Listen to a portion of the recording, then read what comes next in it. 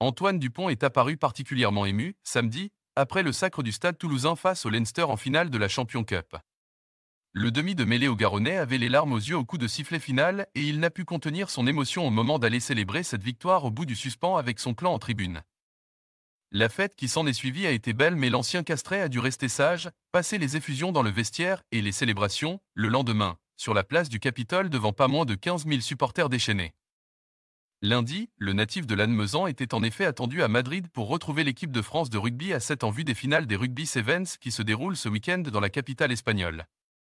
Car si Antoine Dupont a encore un doublé à décrocher avec le Stade toulousain, d'or est déjà qualifié pour les demi-finales du top 14, le prodige a un autre immense défi qui l'attend cet été, mener les Bleus du 7 au sacre olympique cet été. Sa performance majuscule contre le Leinster, samedi, n'en est que plus belle. C'est une donnée incroyable à propos d'Antoine Dupont, c'est qu'il n'a même pas été à plein temps cette année avec Toulouse.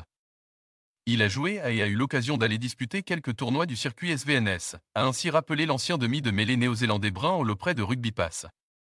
Et le bilan comptable d'Antoine Dupont est encore une fois excellent avec une troisième place à Vancouver pour son premier tournoi et la victoire à Los Angeles dès son deuxième tournoi.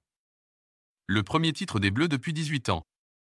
Et pour le Kiwi, cela ne fait guère de doute, la France est la grande favorite au JO.